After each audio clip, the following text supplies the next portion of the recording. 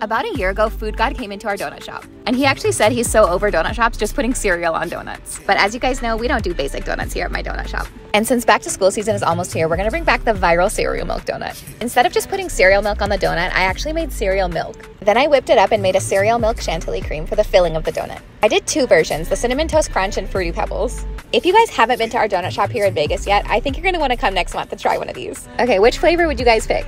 But wait, do we need to make a cereal milk latte?